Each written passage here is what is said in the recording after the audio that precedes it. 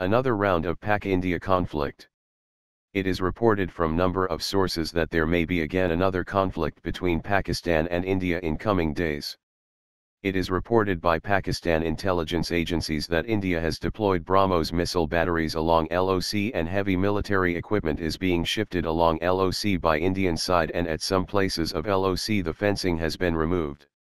It is being reported by intelligence agencies of Pakistan that India may attack on Azad Kashmir. In recent media statements Indian officials had been heard saying that they would take Azad Kashmir from Pakistan. If we talk about Pakistan preparedness then it is reported from the sources that the armed forces of Pakistan are at high alert and Air Force of Pakistan has started cap operations along borders of India. Pakistan's F-16 in air-to-air configurations are being seen on the borders.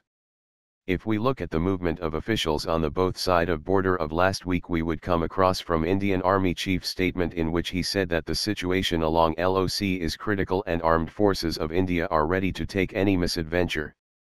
At the same time Pakistan Foreign Minister wrote a letter to United Nation about ongoing situation at LOC and warned the UN that situation at LOC may deteriorate at any time and if anything happened all the responsibility would be of India because he is the one who is starting all this, and some information was given in those letters.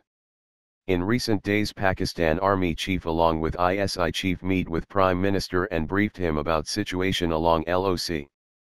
In the news we had heard statements of Army Chief and ISPR in which they reminded India that if any misadventure is taken from their side we will be compelled to retaliate.